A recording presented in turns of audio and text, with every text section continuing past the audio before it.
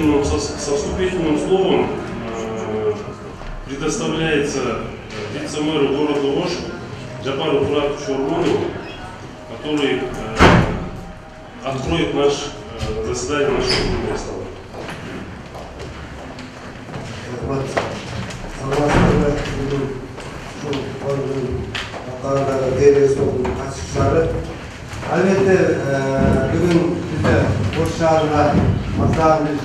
Yakşehir'in Bondat TV Forum üyesinin bu konuda bizim e, şahımızın özü dönüşüne özün çok tasvir etmekten değinmişindir. Anlatan Nadın'ın bizim olmazsa dayanışma etmekten özümüzde verilmişken orada imatlı TV sonu başları 3000 yıldan yaklaşık gençlerimiz bu insanlarda özgürce yaşarlar diye. Anlatan biz özümüzde besler шаардын өстүрүлүшү боюнча атайын биздин программабыз колдонулган эки миң он төртүнчү жылдан эки миң он жетинчи жылга чейин ал программаны күндө ишке ашып өзүнүн демишин берип барышат десек биз жаңылышпайбыз ага мына биринчи жашай эле өзүңүздөр угулуңуздар анын мээриби жана ушундай атайын маалымат берип кетти эми Elbette Urşal Demezim'de şaharda e, gönüllülük e, teşvikli şaharın kuruluşunda bütün e, meseleler var. Al meselelerde özümüzde besler biz e, iş karşı için yürüyüş bağıttı hazır anlatacağız. Bunlarda bunlara katılamızım. E, Urşal ve bizim gönüllülük yaşamımızı e, Yolsa şaharın mümkündü özgürlüğünü buradaki şaharda şu ayrı bölükler saklap қайтіп жаңы бөктер пайда болады деген біз жақсы бір теманы алмалтып сын тереңдесек деген ой бар андан кейінгі дағы бір чоң мәселелердің бірі мойындаш керек ушул шаар узак убакытка кантип анда өзгөртүлген болгон чоң бизге маселе мына ушулардын тегерегинде биз сөз бүгүнкү күндө негизи ош шаарындагы ушу шаар курулуш багытында маселелерден сөз болсок бүгүнкү негизинде мына жогоруда да айтып кетти ген план негизинен такталып жатат кудай буюрса ушул жылдын акырында ген планды кабыл алабыз деп желдетип жатабыз эле мезгилде ген план такталбай биздин шаардын тегерегиндеги шаар менен чектешкен ошол жерде өсөт деп биз пландаштырып жаткан жерлерде райондор азыр бүгүнкү чектешкен өз билемдик менен эч кандай акылдашуу макулдашуу жок эле жеке турак жай үй бүлөлөрдү коюуга берилген бул келечекте биз шаарды ошол тегерекке өстүрө турган болсок ал жерде кайра эле турак жай куруу маселесинде бул шаарга чоң маселе жатышы мүмкүн дагы бир чоң маселелердин бири бул шаарыбыздагы мына бүгүнкү күндө генпландын немесине немесіне айтып кетті. Он төртке жақын райондардың анклавы бар ал анклавтар райондор бүгінгі күнде біздің шаһардың инфраструктурасын пайдаланып жашап келе жатса бұл мәселелер бар.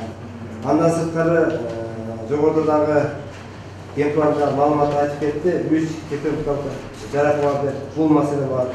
Себеби ушул жаракалар түшкөн жерде бүгүнкү күндө социалдык объектилер жеке менчик үйлөр жана башка имараттар жашып жаңағы бұл мәселенің үстінде істеуіміз керек андан сырткары мына сайман тоғыз бар юнеско қаланған анын тереңдеги чегара аймак маселелери бар деп туруп керек андан сырткары урматтуу бүгүнкү терес столдун катышуучулары жалпы эле шаар келечекте тигинен арта өсөт бул деген сөз келечекте көп каттуу эле шаарда пайда болот қайсыл заттарды өседі деген жалпы мақсаты бар мына штабтың үстінде мен ойлаймын бүгін дағы мына сіздердің араңыздардан сіздердің қатысушыларыңыздан мен жақшылақай шағылғандай шақылдаған жақшылақай бізге керекті ой пікірлер пайда болады деген терең сеніштемін ал ой пікірлерді ұсыныштарды біз келешекте шаһардың өсу өнушіне қол деген үмітті көңіл бөлгеніңіздерге рахмат дагы алдыда мына сиздер менен келесиде көп маселелер бар экенин үмүттөбүз Большое спасибо, Джапар Муратович, вступительное слово. Э, В первую очередь, э, позвольте мне представить участников нашего круглого стола. Э, Честно говоря, состав немного большой. Э, Если позволите, кого я знаю, представлю, а кого я не знаю, представиться самому и э, должность. Э, Ну, в первую очередь, э, вице-мэр города Ош э, Гафар Туратович Урмонов, э, главный архитектор города Ош э, Аджимурат Ватбекович э, Тудошев. Да. Да, вот За- Заведующий отделом градостроительства муниципальной собственности мэрии города Уж Пермат Олег Виталий Ильич. Рамузан Пещенович Мурбатыров, руководитель разработки генерального плана города Бишкек Ош, представляет Кыргызский научно-исследовательский институт проектирования градостроительства. Гурбоев Анатолий Николаевич, архитектор города Ильдар Егизерович Умузаков, руководитель общественного объединения городского развития, Э, мой товарищ по оружию по правовому зонированию. Акимов Азрия Белопекович, специалист шкаф архитектуры. Специалист по генплану. Николаев Жуков Пегидикович, председатель городской комиссии города Малицы. Расулов Замирбек Канатбекович, вице-мэр города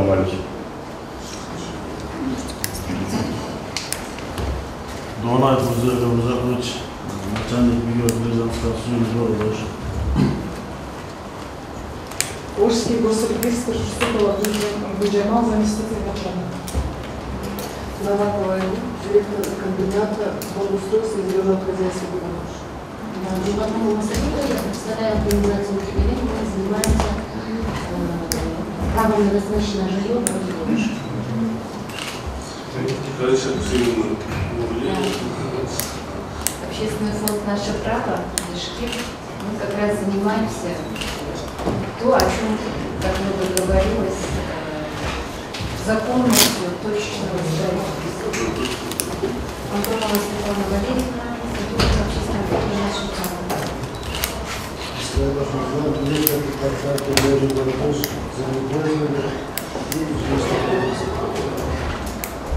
Эм, Елена Краткова, старший аналитик э, Центра развития исследований спорта Москва. Очень здорово, что у нас в составе есть и такие международные эксперты, не только из Кыргызстана. Я думаю, э, наше обсуждение будет насыщенным, интересным. И э, в первую очередь э, предлагаю э, предоставить слово главному архитектору Аджимурату Балбековичу, э, чтобы он нам рассказал о сегодняшней архитектурно-строительной ситуации в городе Ош. Здравствуйте, э, уважаемые участники форума, э, уважаемые участники круглого стола. У меня доклад на русском языке, поэтому позвольте докладывать на официальном языке. Э, Градостроительство Кыргызстана э, сегодня находится э, в точке перелома перехода к новому качественному состоянию, представляющему градостроителям Кыргызстана уникальные возможности и перспективы, реализация которых способна обогатить практику градостроительства. Переломный период в кыргызском градостроительстве обусловлен сменой типа урбанизации, трансформацией ист- источников и дви- движущих сил, а также с кардинальным преобразованием социальной, социальной и ресурсной базы современного градостроительства.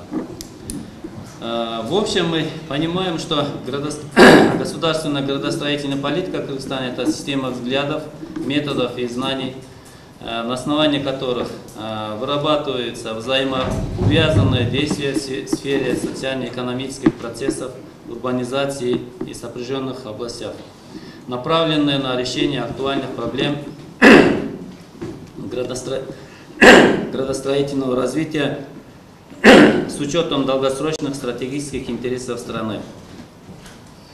э, государственная градостроительная политика опирается на весь исторический опыт отечественного градостроительства. Термин градостроительство стал в Кыргызстане тра- традиционно обозначать практику градостроительного планирования, развития и обустройства всей территории Кыргызстана, всех ее земель, районов, а не только городов и поселений. Градостроительство э, обеспечивает функционирование и развитие крупнейшего сектора реальной экономики, имеющего дело с использованием земель, оборотом недвижимости, строительством, регламентами застройки земельных участков, параметрами жилых, общественных, промышленных, коммерческих зданий и сооружений, инфраструктурой и развитием городов, поселения и жилищно-коммунальным хозяйством. К сожалению, в настоящее время процессы этой сферы часто происходят стихийно, отличаются низкой координацией действий и участников. Это связано с многообразием задач, закрепленных градостроительным кодексом Кыргызской Республики. За градостроительством, унаследовавшим многие черты от периода э, централизованной плановой экономики и политической системы с иными функциями и возможностями, отводившимся градостроительной деятельности в советский период. Э, Основное назначение государственной градостроительной политики Кыргызской Республики э, сформировать целостную, четко выраженную позицию государства по пространственной организации территории Кыргызской Республики, развитию городов, сел, агломераций, мегаполисов, характеру воздействия на динамику процессов урбанизации, расселения, многие, э, которые обеспечили бы э, приумножение и сохранение народа условиях глобализации экономики. А, В общем, а, хотел сказать, что а, в настоящее время мы сталкиваемся, что при реализации генерального плана города Ош и при ну, разработке э, генерального плана мы сталкиваемся с такими трудностями, как отсутствием э, четко выраженной э, стратегической э, государственной градостроительной политики. В связи с этим мы, воспользуясь моментом, я предлагаю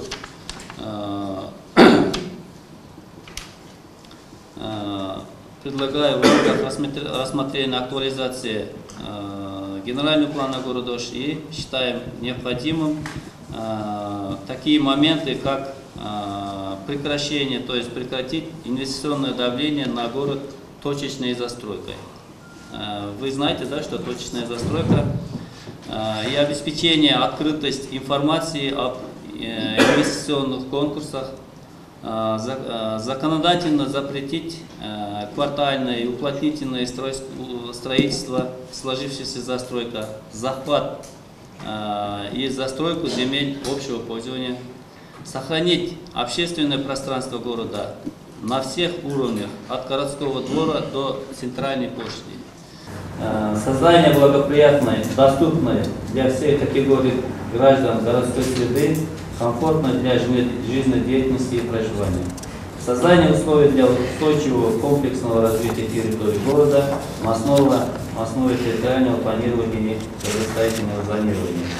Осуществление градостроительной деятельности с соблюдением требований градостроительного законодательства, создание условий для обеспечения инвестиционной привлекательности города, обеспечение комплексного подхода к благоустройству городских территорий, улучшение архитектурного облика города, исключить застройку озелененных городских территорий, а, социальные гарантии, комфортность и доступность, качество жизни жителей Аша должны быть учтены, учтены в градостроительных документациях, то есть в плане города. А, Первоочередными должны быть аспекты функционирования города, а не интересы строительных комп- компаний. А, Рассмотреть строительство социального жилья вообще в то время, как коммерческое жилье занимает земли э, и наносит ущерб э, интересам жителей. Обеспечить открытость информации и инновационных конкурсов. Э, В общем, э, у меня все. Если вопросы будут, Я с удовольствием. Э, Димурат, Э, Димурат Куатбекович, спасибо вам. Э, Ну, конечно, у нас э, планы всегда э,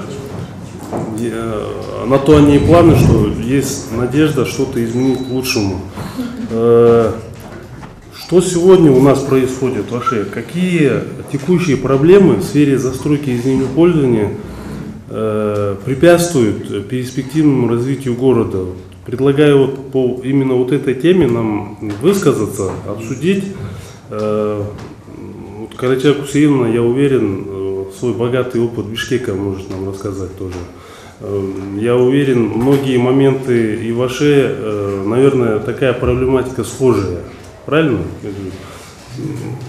Кто может э, высказаться вот по этой теме? Карача Кусеевна. Но у нас в Бишкеке уже болезнь, которая называется коррупция в строительной сфере, зашла настолько далеко, что практически мы потеряли первичный облик этого красивого города, да, который был очень самым зеленым в Советском Союзе.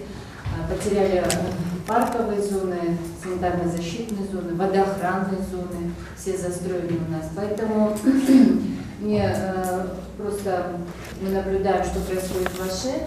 У вас еще только началось это все. И э, я приветствую то, что здесь очень такой э, государств- э, главный архитектор с государственным подходом, потому что очень многие вещи, которые мы видим здесь, тоже точное строительство, по крайней мере, есть попытка сделать это все в рамках закона и СНИПов.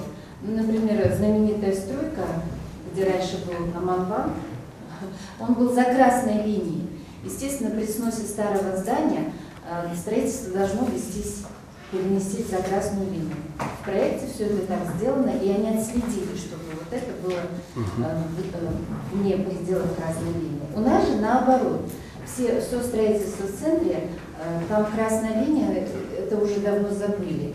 И отслеживание вот таких вещей со стороны архитекторов, чтобы не нарушались те же СМИ, градостроительные нормы, это мы видим, по крайней мере, на некоторых объектах, что это пыта- пытаются сделать. Но я бы хотела здесь сказать о том, что есть более глобальные вещи, которые будут сказываться на будущем облике э, города Ош. Это, это называется, я назвала это для себя законодательная коррупция или э, коррупция на уровне законодательства. Дело в том, что основные э, застройщики, которые, по крайней мере, бесчинствуют у нас, они сидят э, во власти. Это депутаты, это члены правительства, это ну, члены президентского аппарата. То есть это те люди, которые могут привлечь э, большие денежные средства, э, пролоббировать э, получение земельных участков за бесценок и построить дом, продать его дольщикам и уйти. И не нести никакой ответственности, что будет с этим домом в дальнейшем, в, какой, в каком положении окажут- окажутся эти дольщики. Э, Приведу пример, э, что я не голословно это говорю. Э, Депутат Джовапуки Неша Замир Бекбоев. Это у них семейный бизнес, строительная компания Бабек ЛТД. Нарынбек Молдубаев, депутат парламента. Когда мы на него, так сказать, наехали, он быстренько вышел из, э, из учредителей своей э, строительной компании «Албан Строй». Э, Но родственники нашего премьер-министра имеют э, компанию «Эмарк Строй», которая сейчас застраивает водоохранную зону в Бишкеке. И таких, если мы возьмем наш городской Кениш, то мы увидим, что там одни строительные, э, директора строительных компаний чуть не попали в парламент, потому что они будут лоббировать свои интересы. А, Молдобаева Гульнара – это директор эм, строительной компании Бишкек Крулуш.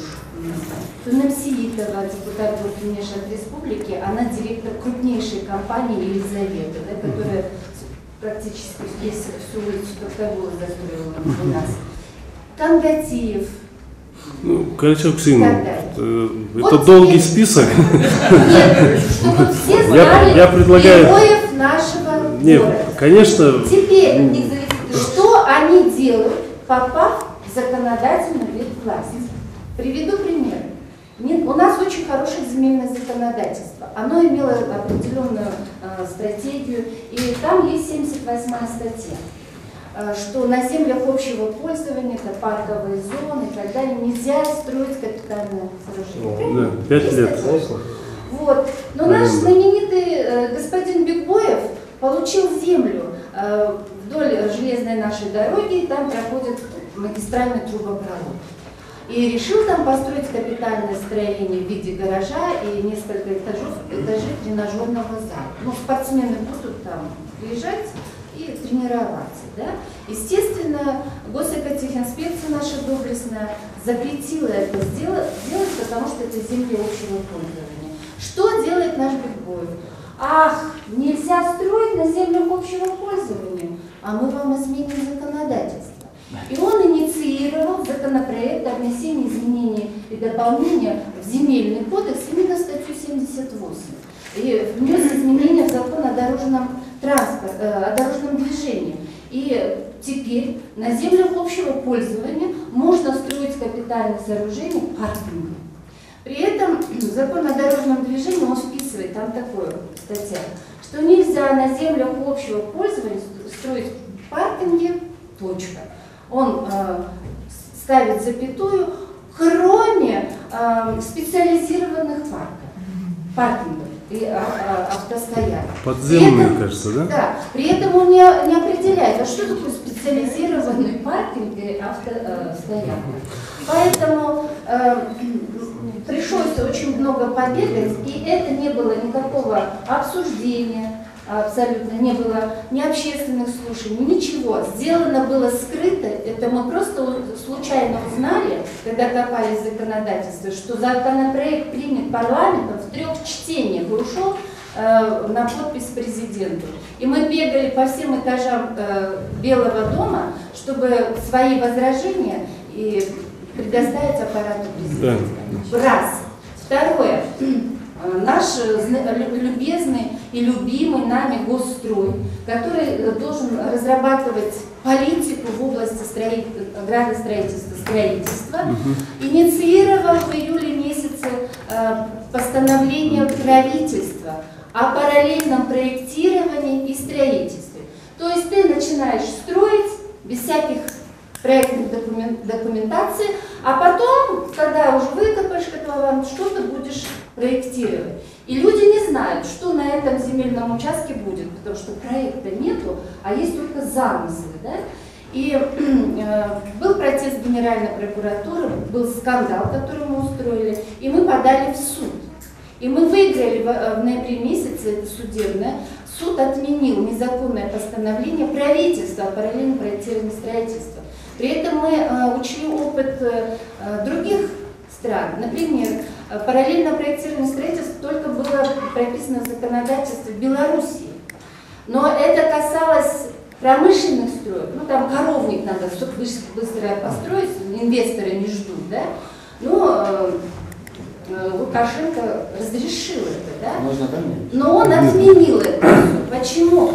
Потому что это привело к ухудшению качества построенных объектов, и это было отменено. Можно я вот я добавлю? теперь хочу сказать, как главный архитектор города Аша, вот можно я доскажу, более, пусть все знают, э, что происходит у нас в законодательной сфере.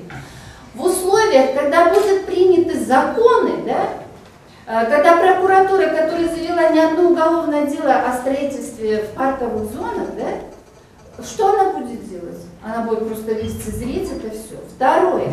Сможет ли главный архитектор проекта противостоять точечному строительству и вот этой коррупции, если ему будут сувать в лицо вот эти незаконные законы, принятые парламентом? Конечно, нет. И вот это самое страшное. Можно бороться с одним застройщиком, подать на него в суд, отменить постановление о предоставлении ему земельного участка. Можно податься годами. Но что может сделать какой-то НПО или гражданские активисты, и даже те люди, которые профессионалы, которые понимают, какое безобразие творится в строительной сфере, что они могут противопоставить вот этим.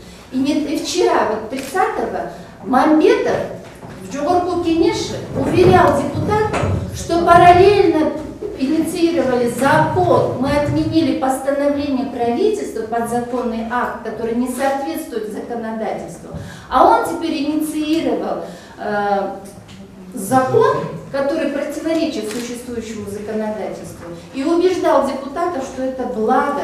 Почему? Инвесторы не ждут. Чего не ждут, непонятно. Поэтому вот у меня вопрос. Сможет ли доблестная Ожская Бишкека глав архитектура противостоять коррупции на законодательном уровне? Каждый я сейчас дам вам слово. Конечно, есть всегда э, конфликт интересов. Э, Для этого мы и э, обсуждаем, чтобы соблюсти некий баланс. Есть, ес- естественно, интересы э, м, граждан, сообщества, есть интересы государства, есть определенные моменты, которые могут быть э, вот такие широковатость, про которые вы рассказываете, не без этого. Об этом, э, по крайней мере, прямо мы говорим, э, и определенные, может быть, противостояние ведется.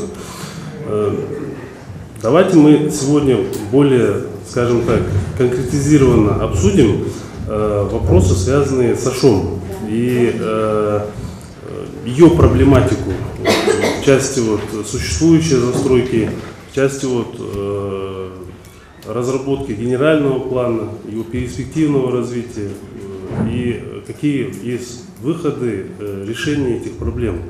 Э, Мне кажется, это тоже э, актуально, э, тем более мы находимся в Аше, обсуждаем эти вопросы. Спасибо вам, Калича Гусейновна, за ваше э, выступление. Мы сейчас, мы сейчас дадим слово э, главному архитектору. Позвольте, пожалуйста, он уже просит. Э, Спасибо, я сейчас дополню еще раз. Вообще сейчас мы, в отличие от других городов, конечно, как Халича сказала, мы постараемся соблюдать и сохранением исторической ценности города Уж и реализовать генеральный план. Это по закону. Мы хотим реализовать генеральный план, то есть строительство многоквартирных, многоэтажных жилых домов и то есть многофункциональных, то есть жилых комплексов, с- жилых комплексов э, мы сначала рассматриваем не точечную застройку, а мы рассматриваем Комплексно, да? комплексно.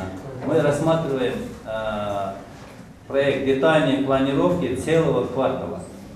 Э, Если этот э, градостроительный документ этого квартала отсутствует, тогда мы сначала определяем границы и э, предварительно разработав эскизный проект э, квартала и согласовываем с разработчиками генерального плана.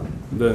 А, После этого, а, после согласия генерального плана, и, и там а, не только мы предусматриваем индивидуальные, то есть многоквартирные жилые дома и много с торговыми и с другими помещениями, и мы, мы тоже предусматриваем и социальные объекты, там, школьные, дошкольные объекты и других, э, с учетом других объектов.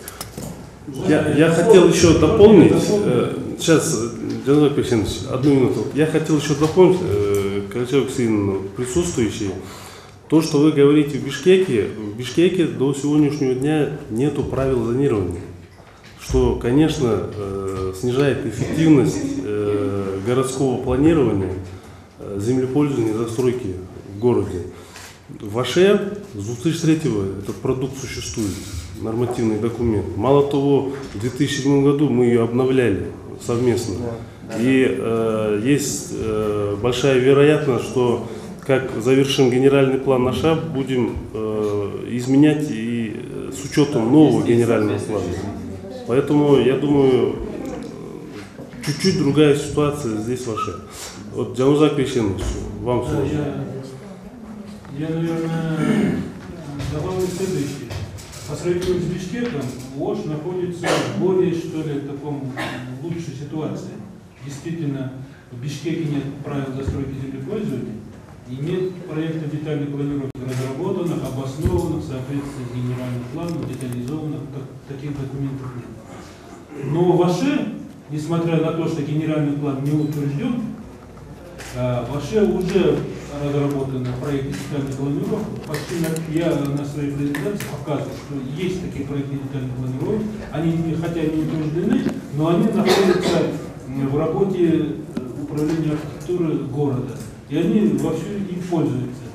И когда возникают вопросы по развитию э, строительства, конкретные текущие работы, они в каких-то моментах, где э, значит, необходимо какое-то объяснение, толкование или согласие наше, они направляют нам, мы совместно работаем, вот, наш институт как э, автор генерального плана и мы совместно работаем. И это э, э, давно это практикуется. А в Бишкеке такой ситуации нет. В Бишкеке эта ситуация только, только на- налаживается. Сейчас, как вы знаете, в Бишкеке мы начали разрабатывать проект планировки, центральная часть. Года два понадобится на это. Плюс необходимо принять правила застройки землепользования. Мерия города Бишкек с приходом нового мэра, она это э, э, значит, распоряжение сделала. И сейчас э, инициируется начало разработки, выделяются деньги на разработку правил застройки землепользования. И тогда, наверное, э, если все это будет сделано, уже ситуация в Бишкеке должна будет выправить. Можно дальше? Да-да-да. Да, ну, вопрос задайте, да? Нет, я могу ситуацию вашей можно сказать. Меня зовут Гулькака, я работаю в организации «Интерпримы», мы уже, наверное, более 8 лет занимаемся вопросами использования земель в городе Ош.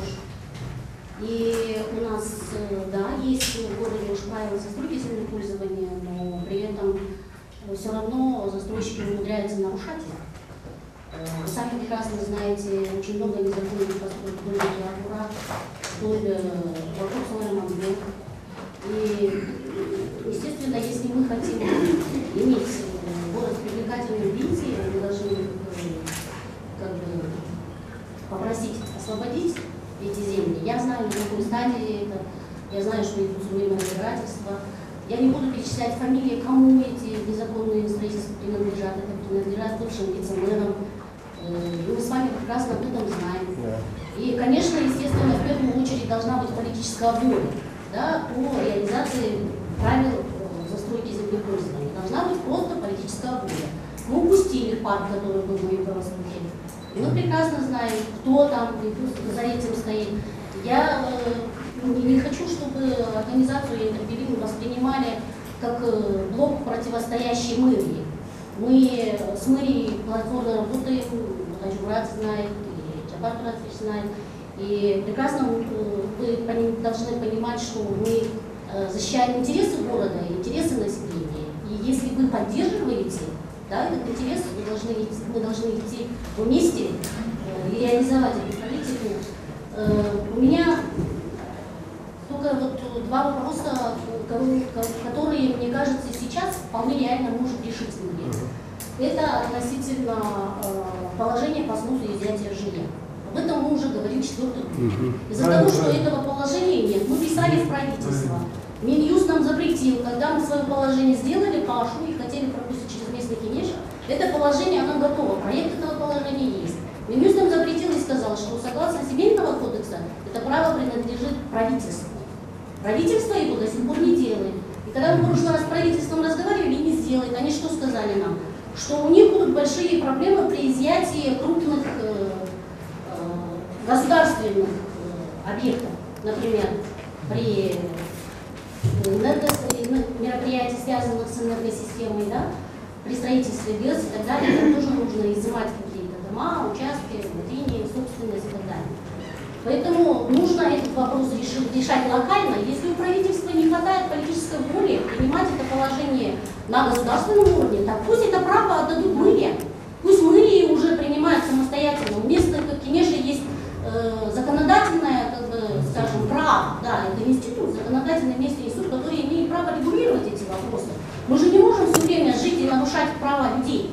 И, конечно, я всегда выступаю, когда поднимаются изъятия бякой, и чуть ли интерпелим там не открывает офис, я, и мы туда приходим как на работу. Ну, поверьте, нам это не нужно. У нас куча да, своих проблем, и поэтому, мне кажется, это нужно решать быстрее. Тем более сносы скоро пойдут. И пойдут и по улице Розапова, и пойдут и по улице Омска, и пойдут и по другим городам. Мы не говорим, что изъятие должно, не должно быть, да? Хорошо. Должно Ради быть, развития должно. города должно быть, но при этом учитывая интересы и права людей. Да, да, Да, да. я вот хотел бы дополнить. Да. Действительно, вот такой документ нужен. И это, э, в первую очередь, даже, наверное, в первую очередь связано вообще с развитием. Понимаете? Если вот такого упорядочения отношений, взаимоотношений собственника земельного участка или здания и потенциального инвестора не будут упорядочены, э, то инвестор не сможет э, в полной мере планировать свое развитие, свой бизнес. Поэтому это ведет к э, потере инвестиционной привлекательности. Поэтому такой документ нужно принимать. И, а, если потеряем инвестиционные деньги сюда не пойдут, и развитие города приостановится. Основным тормозом сейчас по реализации генерального плана, как я уже докладывал, генеральный план предполагает полную конструкцию вот этого всего несельского жилого фонда, все это должно идти под снос, и э, проходить новые деньги, э, должно строиться новые здания и сооружения. А вот без вот такого упорядоченного, вот такого закона, э, где затрагиваются не только интересы там, хозяева, жителя города, но и интересы инвесторов, вот если из такого закона не будет принято в ближайшее время, то и развитие города будет тормозиться. Будет ограниченным, да? Будет ограничено. Жапар Туратович хочет дополнить? мүмкін біраз бағыты басқа жаққа кетіші мүмкін бірақ мағлұмат үшін мен сіздерге айтып қояйын Ә, бүгінгі күндегі орыс жағында істеп жатқан мэрия ешкіле жақсы айтты Ә, игіліктерге бес жер бастады деп мен де басында айттым біріншісі мен сіздерге мындай фактімен айтып берейін ошо генплан бүгүнкү күндө жакшы жолго түшүп атат учурубузда эле генплан өзү ош шаарында эки миң жетинчи жылы башталган фактты сизге жакшы билет эки миң жетинчи жылдан баштап генпланды иштөө үчүн он үч миллион сом акча каржыланган бирок өтө чийки болуп калдык бул кишилер жасаткан кишилер жакшы билет. Былтыркы жылы биздин шаардык мэрия инициатива кайра чакыртып алдык ал генпланды. Бүгүнкү күндө ошол чакырып алып кайра иштөөтүү өзүнүн натыйжасын бере баштады туурабы азамат мырза туурабы экинчиси баардык кылмыш жерди биринчи кезекте тарката башталган мезгилден башталат мыйзамсыз жерлерди сата баштайбыз биз ушуга чек койдук шаардык мэрия саясий эрк кабыл алды биз бир квадрат метр жер сатпайбыз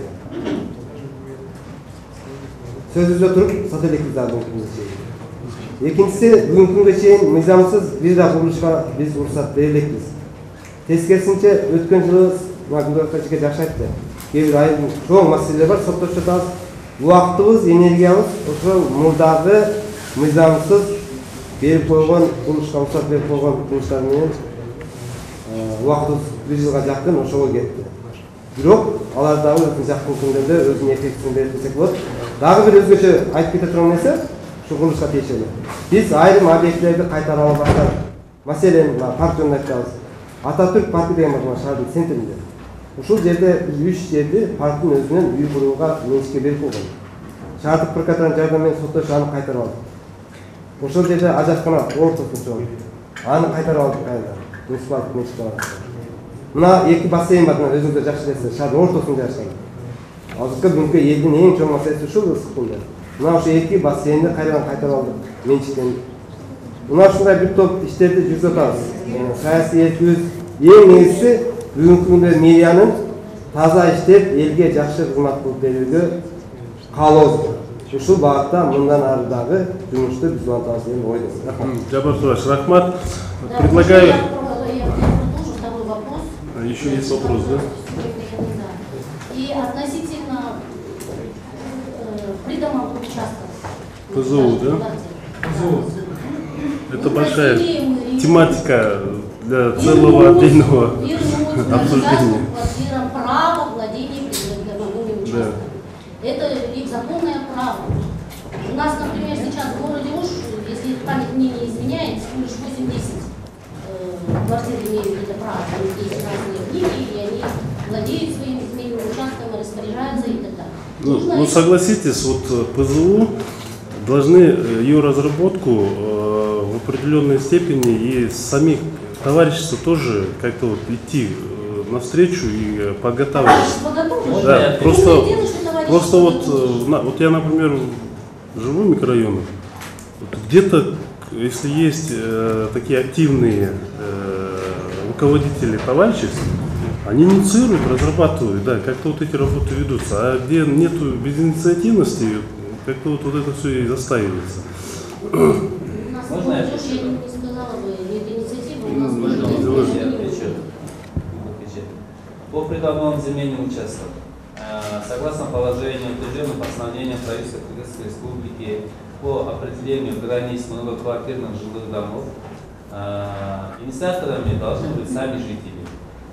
Они должны, э, согласно протоколу общего собрания, решением э, собрания, они должны обратиться в полномочный орган по определению границ семейных участков. Э, Мы предварительно определяем по установленному, Нормативом, да? ну, по установленному Ну да. по установленным нормам мы определяем, предварительно определяем границы и обратно направляем на рассмотрение и на согласование с самим жителем. Э, Эти границы должны висеть в установленном и на видном месте, э, трехдневный и четырехдневный срок, и они, все жители должны знать и должны ознакомиться, и они согласие должны вернуть нам эту границу. После этого эта граница утверждается и направляется для принятия постановления в мере города Ушу. А вообще, Вот, э, подобные хот- работы ведутся или нет? Да, вот ведутся. Вы Заявки хотите высказаться? Заявки есть. Проблема в том, что ПЗУ, по- придомовые земельные участки, у нас э, практически у многих городов, у многих домов не оформлены. И здесь есть э, тоже проблема. С одной стороны, по постановлению правительства э, это налагается как бы инициатива со стороны жителей должна проводиться. Естественно, это платные э, процедуры. Э, С другой стороны, я, насколько знаю, в этом плане вот, Калачева Катерина очень э, богатый опыт есть в тематике ПЗУ. У нее кардинально другое мнение в этом отношении, я так понял, да? Дело в том, что право собственности, оно закреплено законом. И здесь вот когда архитектура в своей части разработки проекта ПЗУ, они это делают. Да. Но здесь получается следующая ситуация. Мы в закон о введении в действие жилищного кодекса, вот лично я прописала эту норму, что согласно закону, если у человека есть правоустанавливающий документ на земельный участок, а это акт отвода земельного участка мерой такой-то под строительство 48-квартирного дома, если это в архиве нашли, приходите в госрегистр без всякого Бишкек архитектуры, и госрегистр обязан э, в течение 10 дней выдать красную книгу. Но что происходит? Когда люди берут в архивах эти документы и приходят в госрегистр, госрегистр не оформляет им их право, не регистрирует их право. Почему? Потому что мэрия уже давным-давно отдала их земельный участок под строительство кафе, многоэтажного дома и на, придом- это, на детской площадке возникают многоэтажные дома. Поэтому мы с госрегистром, ну здесь просто не головной же, да, мы вышли на Шаикову, на госрегистр, чтобы госрегистр выполнил этот закон и аннулировали. Самое главное, сдается в аренду на 49 лет чужая собственность. И при этом э, мэрия говорит, это же моя земля. А у тебя есть документ, что это твоя земля? То есть размежевание частной муниципальной собственности произошло. не, Не произошло произошло. специально. Почему? В стране провели за 7 всех, миллионов э, долларов системную регистрацию э, индивидуальных жилых домов, и теперь у каждого дома есть красная книга, но это не сделали специально для многоквартирных домов.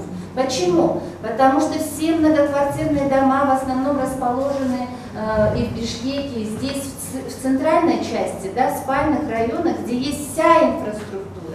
И вот это наличие инфраструктуры, тепла, газа, она привела к тому, что идет рейдерский захват чужой собственности. И Со сейчас да, со стороны муниципалитета, со стороны любимой Бишкек архитектуры и со стороны госрегистра. И мы, изучая вот эти все вещи, пришли к мнению, что в вопросах землепользования, размежевания, использования в будущем, да, функционального назначения, правильного эм, использования функционального назначения земельного, земельного участка, организовалась в условиях частной собственности мафиозная структура сговора, соответствующая, ну, товарищи, сговор, ну, коррупционная, будем говорить, там, где есть сговор. И вы не представляете, каких стоит трудов нашим жителям, которые активизировались. Здесь же даже э, для э, Ожского НПО даже книжку издали, да, как зарегистрировать свое право собственности в многоэтажных домах. И все это приводит к тому, что люди сейчас ходят по судам, отменяют незаконные постановления мэрии о предоставлении в аренду земельных участков под строительство, да, чтобы вернуть себе придомовой земельный участок в том объеме, в каком он был. В моем доме, до того, как я стала председателем, земельный участок на, каждого, на каждую квартиру 5 квадратных метров вместо положенных 25. Почему? Потому что последние микрорайоны, они уже были сформированы как уплотненная застройка, правильно? Еще плюс отняли у нас. И получилось, что практически жители многоквартирных домов во многих случаях не имеют практически земельного участка и при этом платят налог под- за землю под домом вместе с налогом на недвижимое имущество. То есть вот такие парадоксы, они порождают э, большое неприятие всех структур. Но у вас в этом плане, конечно, может быть ситуация немножечко другая. процессы? ситуация хуже, я сейчас расскажу. Адюмат Котпикович, э, Нет, хотели дополнить? э, Просто у ПЗУ класс, наверное, водитель по- нет информации. По ПЗУ имеете в виду? Да, ПЗУ мы сейчас, э, то, что я сказал, у нас мы работаем как положено. Вот, например, э, приведу пример. Э, У нас есть еще Султан Ибраимова, 28 дом есть, если вы знаете. Эти жители сами уже в течение года не могут, да, вот, например, сами они соглашаться не могут. Двух, трех да, они сами не могут прийти к общему согласию по границам этого дома. Мы уже третий вариант им отдали, они до сих пор еще они согласию не принесли. А, По, по остальным домам а, мы предварительно направляем им этот, э, определенную эту границу, и они э, дают письменное согласие, и мы определяем. Я больше После регистра, дайте, пожалуйста. Да, да, да. Я как представитель посрегистра, мы сами заинтересованы, чтобы границы ПЗО были э, определены и зарегистрированы, потому что мы регистрирующий орган, сами не можем определить эти границы. И приходит, поступает решение суда, там кто-то построил магазинчик, поступает решение суда, вот э, признать право собственности на этот магазин. Э, Естественно, земельным участком, магазин находится на земельном участке. Решение суда подлежит исполнению. А если мы уже вынуждены это решение суда исполнять, и вот на этот участок ему маленький давать э, госакт. Но если бы границы всех многоквартирных, многоэтажных жилых домов были бы определены и зарегистрированы на основании правоустанавливающего документа, вот это незаконное решение суда мы бы уже не регистрировали. Мы бы э, дали э, ответ, что право собственности невозможно зарегистрировать, так как это находится в э, границе ПЗУ. Поэтому я считаю, что разъяснительную работу надо вести такую крупномасштабную по всему городу. Надо вести работу с территориальными советами, работу по телевидению даже. Вот. Люди-то не знают своих законов, надо вести, вести с ними разъяснительную Я с вами согласен. Хотели дополнить, да? Зарегистрировали свое право на придомовой земельный участок. Вот я хотела вопрос как раз вот регистру задать. А вот уже у вас были допустим, жители в архиве, э, допустим, нашли именно правостоящий документ от вот, э, земельного участка, решения об отводе земельного участка. И там, естественно, есть схема, есть площадь этого земельного участка. И вы зарегистрировали вот, хоть у одного многоэтажного дома вот э, такой правостоящий документ. У нас вот э, в нашем архиве есть э, у некоторых домов сохранились вот эти старые кадастровые планы, где мы можем определить отведенную им границу. Ну, кадастровый план это одно, а правоустанавливающий документ, это уже мы же госакт выдаем, мы можем определить границы по этому Нет, кадастровому я, плану? я имею в виду другое. Дело в том, что у нас уже прецедент был, потому что, как Алича сказала, у нас уже была большая работа проведена именно с ГРС, и люди сейчас у нас э, именно в архивах сидят, вытаскивают первоначальные документы, которые каждому дому многоквартирному выдается земельный участок, именно вот выбранный выбранный под строительство, допустим, такого-то многоэтажного дома. И когда люди с архива эти документы берут, э, Госрегистр нас сейчас регистрирует право собственности. То есть именно вот по этому первоначальному праву удостоверяющему документу. Изначально у нас Госрегистр очень сопротивлялся этому, не хотели, говорили, нам нужен проект вот архитектуры, нам нужна подпись мэра. Но это, мы как-то доказали, что если это пер- первоначальный документ, он подлежит просто регистрации, потому что там есть схема, там указана площадь земельного участка, и Госрегистр у нас сейчас регистрирует, у нас есть уже такие... Нет, если нам предоставят такой правоустанавливающий документ, мы обязаны зарегистрировать. Конечно, там, если То есть у вас такого пока нет? Ну, такого пока нет. Можно я дополню? Давайте вот по ПЗО вы сейчас Да, расскажете, мы э, на другую тему Я перейдем, потому что мы э, долго э, в одной области. Мы, мы бы с ПЗО не занимались, если бы не ситуация вот 2009 года, когда мы инициировали инвентаризацию муниципальной земли и земель общего пользования. И вот тогда вот когда стали целая комиссия была, госрегистр, архитектура, неправительственная организация, стали поквадратно смотреть что в городе, что где расположено, вот тогда и всплыли эти вещи. Я почему, Аджимурат, говорю, может быть, у вас достаточно информации нет, потому что некоторые придомовые участки, они проданы. И чиновники имеют красные книги. Вы помните, в 2010 году по улице Масареева, когда госдирекция инициировала, выкупила э, у собственника э, этот, да, земельный участок, придомовой земельный 130 участок. да? Да, 132 И тогда мы неделю там ночевали, отбивали этот участок, да, 4 дома. То есть э, очень много домов, которые и не знают, что это участки. Потому Вот у меня э, за офисом стоит гараж. Вот этот участок тоже владелец, оказывается, владелец, э, бывший чиновник, недавно пришел и говорит, сносите гаражи, это, э, это моя собственность. Здрасте, ваша собственность. То есть э, вы реагируете на обращение граждан, но мне кажется, нужно инициировать полную инвентаризацию. Да. Нет, вообще, я говорю, разъяснительную работу надо вести с территориальными советами. Да, да, да. Вот я с вами полностью согласен. Э, Необходимо информировать общественность, э, может быть, даже и проводить некие, некие общественные слушания по, по данным тематикам. И э, вот Можно я? я, я сейчас, Калича Кусейевна, у нас времени не так много, мы э, в одной тематике очень долго обсуждаем, поэтому я предлагаю все-таки перейти на другую тему. Э, У нас все-таки тематика нашего круга стала, стала актуализация градостроительной политики и землепользования. Можно Текущую, текущую ситуацию, сейчас, Калича, я вам дам слово. Э, Текущую ситуацию мы видим, есть проблемы и по ПЗУ, и э, по вопросам изъятия. Кстати, по изъятию рекомендую вам э, в правилах землепользования и застройки города Ош ознакомиться со статьей 13 основания для изъятия, где более-менее мы попытались расширенно внести в полномочия органов местного управления, в каких случаях мы определяем муниципальные нужды для изъятия и какие процедуры чуть-чуть есть.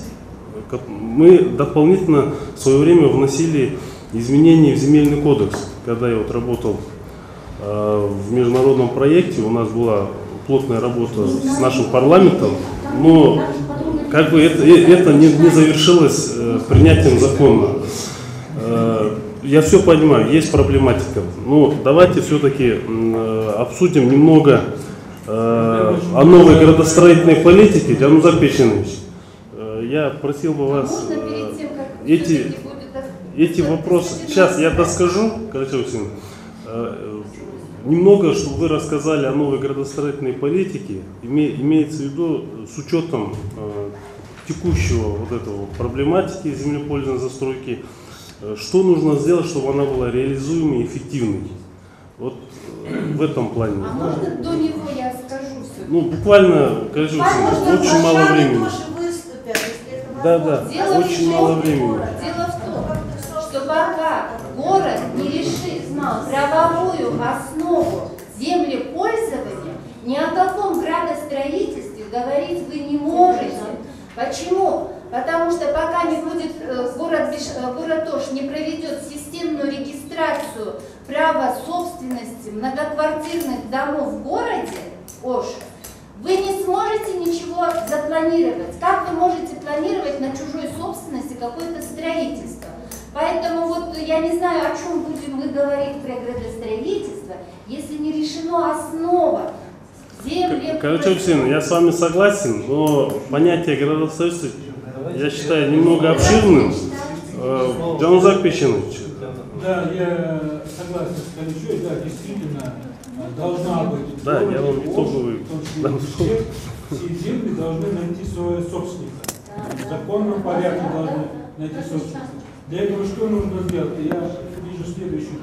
Значит, необходимо муниципалитету провести системную регистрацию собственных муниципальных земель, предоставить какие-то акты, э, первоначальные документы и зарегистрировать свои земли э, в госрегистре.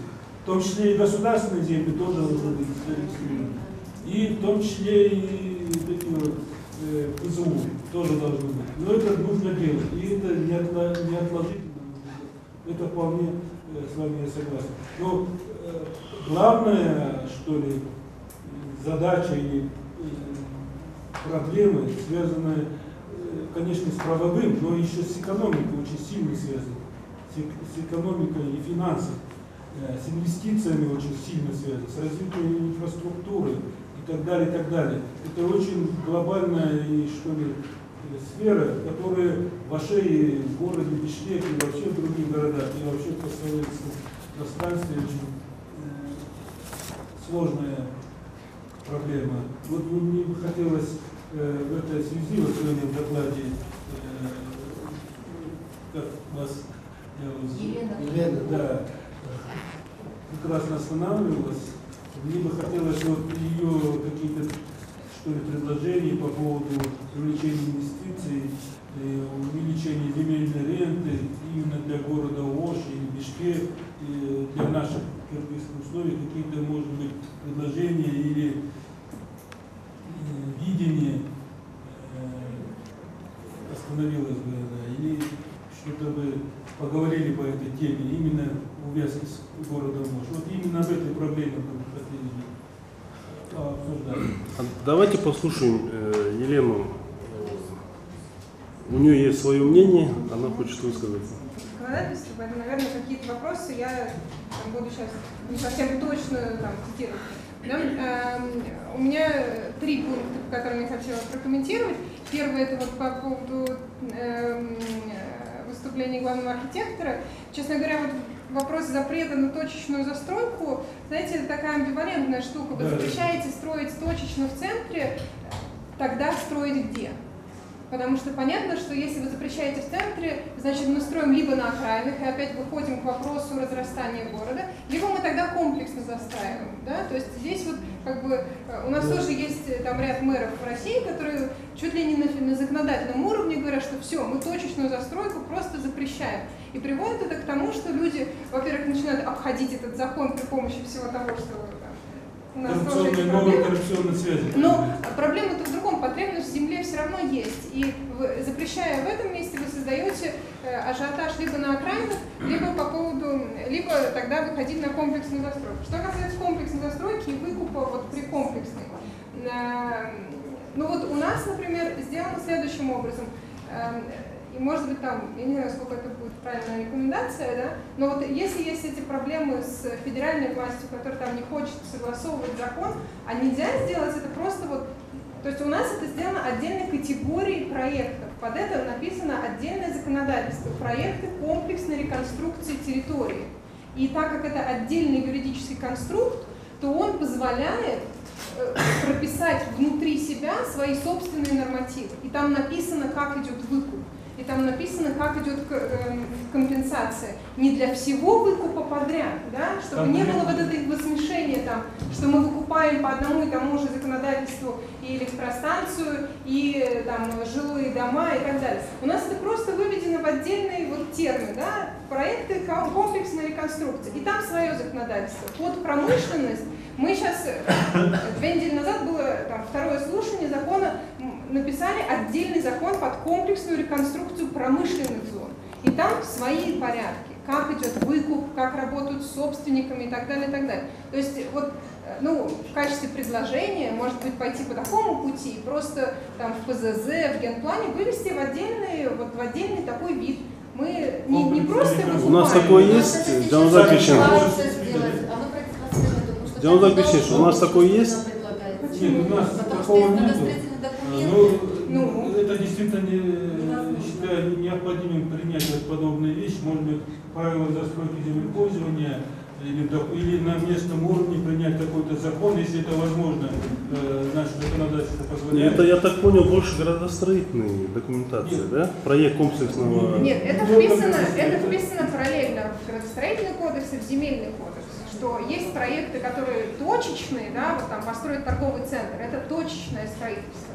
А есть проекты, которые называются проект комплексного э, там, реконструкции, проект комплексной застройки. Это отдельный статус у территории, он- он подчиняется, естественно, он подчиняется всем остальным городским вещам, но там можно какие-то вопросы решать там, комплексно, да, не, не точно. Ее статус какой, муниципальные Кто ее принимает? Город, город принимает список таких территорий. И по каждому из них играется тендер. То есть это э, На уровне города, да? На уровне городской думы, да? Я правильно понял? Принимается... Полномочия у нас отданы муниципалитетам. То есть муниципалитет выбирает, вот так, где у него вот такие проекты. Но сама конструкция, что вот у нас есть такое понятие, как территории комплексного развития, закреплены в федеральном законодательстве. А уж где они там у вас на территории, У нас в разбирайтесь федеральном законодательстве такой конструкции нет, пока что нет, наверное, это нужно принять. А, и это позволяет, э, позволяет э, увеличить темпы развития да, э, в России. Во всяком случае, это позволяет отдельно прописывать какие-то вещи там, да, комплексно. Вот. Там есть свои перекосы, потому что начинают, например, э, реализовывая такие проекты, превышать норму плотности. Да, Мгм. вот у нас там написано, что в генплане это максимальные плотности по территории города. А когда мы начинаем работать точечно, то там есть вот этот вот риск, да, ухода в повышенную плотность, потому что там точечно и как бы, как бы никто не видит. Но это уже вопросы просто качества там, разработки территории и отслеживания, потому что публичные слушания проводятся там по каждой такой территории. И э, да, и по поводу вот э, ПЗ- ПЗУ, да? ПЗУ, придомовой А, земельный У нас участок. абсолютно такая же история, абсолютно с этими архивными сервисами. У нас и что делают круче? У нас в архивах не находят этих документов. Просто находили, сейчас тоже стали. Просто документы. Вот, я участвую в качестве консультанта по, по паре таких историй, но э, вот моя позиция следующая, что крайним здесь должен быть город. Потому что это город когда-то не проверил и выдал эту территорию. Я понимаю, что с юридической точки зрения, наверное, это неправильно, потому что как только появляется этот документ, возникает, возникает новый объект собственности. Да? Когда его не было, как бы, ну, по идее, у них была чистая территория, и они рисовали новый этот участок. Но, на мой взгляд, вот, э, с точки зрения нормативного и городского регулирования, это ответственность города. Это город когда-то махнул рукой и кому-то что-то выделил. Вот теперь пусть город будет ответчиком в судебном разбирательстве. Потому что этот человек, который построил или купил участок, мы сейчас не говорим о том, что он там депутат, не депутат. Неважно, даже если он простой рабочий, он пришел, в он пришел на тендер или куда-то, Он да, и он получил земельный участок. Это в конце концов не его обязанность проверять качество выкупленного земельного участка. Да. Нет, сейчас еще раз, да? Я тоже могу прийти и купить какой-то участок. Я не обязана знать о чистоте юридической. Это город обязан. И я думаю, что как только первый такой суд пройдет, и город выплатит неустойку, причем неустойка здесь пострадавшей стороной в этом судебном процессе будет вот тот несчастный покупатель, которого сгоняют с участка. Потому что это он потеряет сейчас деньги, объекты и так далее. Я думаю, что после первого такого выплачивания, да, если такое вообще возможно, да, в вашей ситуации. На, город начнет понимать, сколько стоит такое вот рисование в чистом поле вот этих участков. И тогда это будет э, хотя бы какой-то экономический расчет. И последнее. А, вот у нас, к сожалению, с 1 там, марта этого года отменили налог на землю под многоэтажными домами. А, И, на мой взгляд, город потерял вообще какой-либо экономический интерес в межевании земли. Насколько я знаю, у вас до сих пор собирается налог даже под многоэтажными домами. Вот у нас э, был случай, это город Самара, где посчитана стоимость межевания всего города. Они вот взяли и просто посчитали, сколько городу будет стоить размежевать весь город 100%. И потом они посчитали, сколько они налогов будут собирать, если они размежуют все. И оказалось, что проект межевания на весь город окупится через там, 7 лет. Потому что объем собранных налогов с этой уже деленной земли, потому что у вас нет участков и не, не с чего собирать, правильно? У вас же нет объекта налогообложения. Поэтому вот они посчитали стопроцентно, и они вот сейчас как бы, ну, идут к тому, чтобы просто заплатить и стопроцентно поделить. Москва занимается этим сейчас. Это приводит к куче конфликтов с архивными документами, потому что им лень разбираться, и там идет точечная вот эта история. Но тем не менее, Москва решила, что, ребята, мы сейчас 100% замежуем, и со 100% откуда мы можем, будем собирать налог. Потому что это стабильно, цена, цена земли растет, это нормальный источник постоянных денег. Вот э, почему бы вам не, просто не Налог посчитать? оплачивается. Да, почему вы просто не посчитаете? Я думаю, что кажется, нас это в каком-то, в каком-то да? периоде вы просто в ноль выйдете, а потом еще будете зарабатывать, и это, вот эти деньги, которые, может быть, вы там сейчас, ну, не горите желанием потратить на межевание, они просто окупятся через 5, 7, 10 лет налоговыми сборами с этой территории. Елена, Всё, спасибо большое. Э, Действительно, очень много полезного услышали. Э, Я думаю, у- у многих э, информация это как бы приводит к размышлению. Э, Может быть, где-то нам стоит перенять э, и российский опыт. Э, Да, даже если взять то, что мы уже делали по правилам застройки и землепользования, наш руководитель Александр Аркадьевич Высоковский, покойный, он был представителем именно московской когорты, да, скажем так, градостроителей, которые они вначале там вели, ошибки учли. И на этих ошибках, с учетом э, этой практики, мы вводили э, в Кыргызстане. Э, Поэтому ничего предосудительного я здесь не вижу. Если где-то наработки российских коллег мы будем брать у нас. Вот только недавно была высказана реплика, что Ашане тоже хотят что-то там сказать. Предоставим слово представителям Ашан. У меня теперь просто, знаете, вопрос к вам, уважаемый модератор. Мы говорим, и нас никто, мы сами с собой сегодня общаемся, выводы никто не фиксирует. Нет, Какие-то нет. предложения Глава архитектуры ничего не фиксирует. Главный равно как и главный архитектор города. Потому что я вижу, вам это не интересно. Получается, что вот вы не любите свой город. Я здесь живу больше 40 лет и вижу, как город гибнет. Как город гибнет, как Госрегистр архитектуры дает. Вы же даете разрешение на строительство вот этого всего? Вы? Вы? Зачем даете? Извините, может да, я тоже не совсем распоряжаюсь. Я, например, смотрю на город глазами наших гостей. Я работаю в туристической компании. Я смотрю на город чужими глазами, и это ярче. Лицом к лицу лица не увидать. Мы привыкли к своему облику, как мы все замечаем. Ну давайте приведем в порядок сначала то, что есть, а потом уже будем говорить о том, что нам нужно генеральный план реализовывать, строить там что-то и так далее.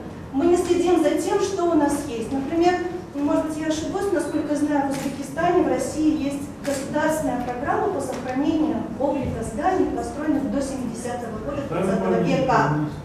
У нас эта программа, может быть, есть, но не работает. Посмотрите, улица Курманжан-Датки, улица Ленина, это все здания до 70-го года.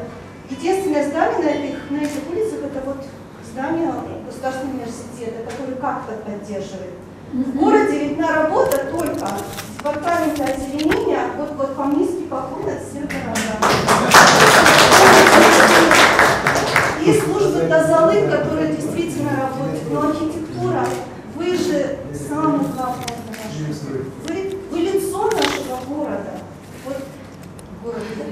Хорошая возможность встретиться, но, пожалуйста, полюбите свой город, как свой дом, как свою квартиру, как свою семью. И будьте вы, не, ну, не знаю, неприступным каким-то. Ну ладно, вы лишнюю там тысячу долларов не получите.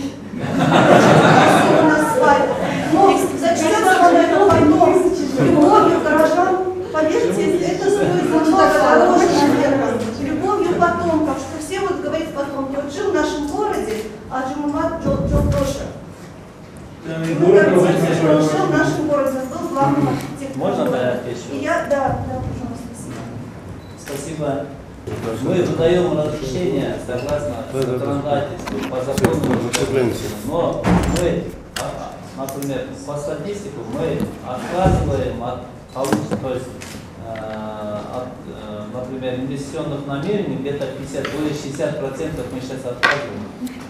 Э, Из-за того, что хотя бы, если не реализовать, а хотя бы сохранить этот город, мы отказываем от э, некоторых инвестиционных намерений жителей, собственников живых, то есть земельных участков. Ну, не знаю, если я вы, Я, например, а а, просто не, не хочу оправдываться, да, просто я а, честно говорю, что, например, мы сейчас работаем с, таким, э, с такими принципами, хотя мы, чтобы не реализовать, да, вот, ну, мы хотим, чтобы сохранить город. Аджимурат Фатбекович, у нас, оказывается, времени уже, мы пока проговорили, уже обед начался.